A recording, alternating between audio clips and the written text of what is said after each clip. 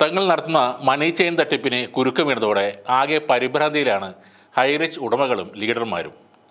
പണം നഷ്ടപ്പെട്ട താഴേക്കിടയിലുള്ള മെമ്പേഴ്സിനെ പല കള്ളങ്ങളും പറഞ്ഞ് കൂടെ നിർത്താൻ ഇവർ ശ്രമിക്കുന്നുണ്ട്. അതുകൊണ്ടാകാം തങ്ങളുടെ പണം തിരികെ കിട്ടുമെന്ന് കരുതി പലരും ഇപ്പോഴും ഹൈറിച്ചിന് ജയ് വിളിക്കുന്നത്. അവർ പെട്ടെന്നൊന്നും കാര്യങ്ങൾ തിരിച്ചറിയാൻ പോകുന്നില്ല എന്നത് സത്യമാണ്. കാരണം ഇടംബലം ആളെ ചേർക്കുന്ന പരിപാടിയിൽ തലവെച്ച് കൊടുത്തിട്ട് ഇത് മൾട്ടി ലെവർ മെൽക്കന്റെയിൽ മാർക്കറ്റിംഗ് കാണുന്ന ലീഡേഴ്സിന്റെ തള്ളൽ വിശ്വസിച്ച മണ്ടന്മാരാണ് അവർ. അത്തരം ആളുകൾ യാഥാർത്ഥ്യവും സത്യവും തിരിച്ചറിയാൻ ഏറെ വൈകും. ഇവരുടെ കോട്ടിട്ട ലീഡർമാർ വെറും ലീഡേഴ്സല്ല ഹൈ ലെവൽ റിച്ചായി മാറിയ ലീഡേഴ്സ് പറയുന്നത് കേട്ട് പലരും കോടതിക്കെതിരെയും ജി എസ് ടി വകുപ്പിനെതിരെയും പല പ്രസ്താവനകളും നടത്തുന്നുണ്ട്. അതിനുമൊക്കെ മേലെയാണ് പ്രതാപൻ സാറും ശ്രീനാ മാഡവും എന്നാണ് ഈ പാവങ്ങളുടെ ധാരണ. ഹൈക്കോടതിയുടെ വിധി തെറ്റാണെന്ന് വരെ ഈ ആളുകൾ പറയുന്നുണ്ട്. വാസ്തവത്തിൽ അവർ പറയുന്നതല്ല അവരെ കൊണ്ട് ഈ ലീഡർമാർ പറയിക്കുന്നതാണ്. ഹൈറിച്ച് വർഷങ്ങളായി ജി എസ് ടി അടക്കുന്നുണ്ട് പിന്നെ എന്തിനാണ് ഞങ്ങളുടെ പ്രതാപൻ സാറിനെ അറസ്റ്റ് ചെയ്തത് എന്നൊക്കെയാണ് ഇവരുടെ ചോദ്യങ്ങൾ. ഇവിടെ ഒരു നിയമമുണ്ട് നികുതി സേവനങ്ങൾ നോക്കാനായി ജി എസ് ടി എന്ന ഒരു വകുപ്പുമുണ്ട്. ഒരു കാരണവുമില്ലാതെ നിങ്ങളുടെ പ്രതാപൻ സാറിനെ അവർ പിടിച്ചകത്തിടുകയില്ല അത് ആദ്യം മനസ്സിലാക്കുക. ജി എസ് ടി ഇന്റലിജൻസ് വിങ്ങിലെ എബ്രഹാം റെൻ ഓൾ ഇന്ത്യ സർവീസിൽ നിന്നും വന്ന ആളാണ്. അദ്ദേഹം ഒരു ഐ ആർ എസ് കാരനാണ് അതായത് ഇന്ത്യൻ റവന്യൂ സർവീസ്. ഇവിടെ ഡെപ്യൂട്ടേഷനിലാണ് അദ്ദേഹം വന്നത്. ഏറെക്കുറെ നിർജീവമായിരുന്ന investigation ബ്രാഞ്ചിനെ S G S T intelligence wing ആക്കിയെടുത്തത് അദ്ദേഹമാണ്.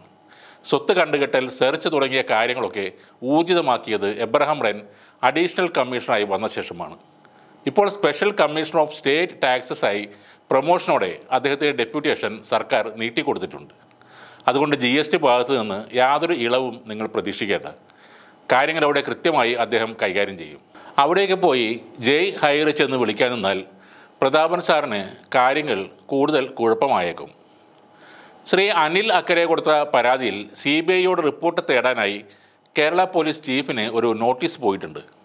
അത് അയച്ചിരിക്കുന്നത് കോമ്പിറ്റൻ അതോറിറ്റി ഫോർ ബെഡ്സ് ആക്റ്റും കേരള സർക്കാരും ചേർന്നാണ്.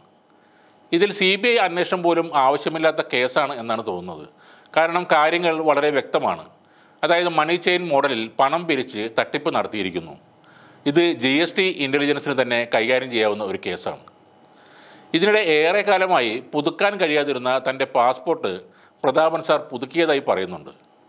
ഈ ലോകത്ത് എവിടെയെങ്കിലും ഏതെങ്കിലും ഒരു ദ്വീപ് വരെ സ്വന്തമായി വാങ്ങാനുള്ള കാശ് നിങ്ങൾ തന്നെ പ്രതാപൻ സാറിന് കൊടുത്തിട്ടുണ്ട്. അതുകൊണ്ട് അദ്ദേഹത്തിന് കാര്യങ്ങൾ കൂടുതൽ എളുപ്പമായി. പ്രിയപ്പെട്ട ഹൈറിഷ് മെമ്പേഴ്സ് നിരാശരാവരുത്. നിങ്ങൾക്ക് അവസാന ശ്വാസം വരെയും ഹൈറിച്ചിന് ജയ് വിളിക്കാനും ഹൈറിച്ചിനെതിരെ പോസ്റ്റുകൾ ഇടുന്നവരെ തെറി വിളിക്കാനും അവകാശമുണ്ട്. അതുമാത്രമേ നിങ്ങളെക്കൊണ്ട് ഇനി ചെയ്യാനാവൂ. അപ്പോൾ അത് മടിയില്ലാതെ പൂർവാധികം ശക്തിയോടെ വീണ്ടും തുടരുക. ജയ് ഹൈറിഷ് ജയ് പ്രതാപൻ സാർ.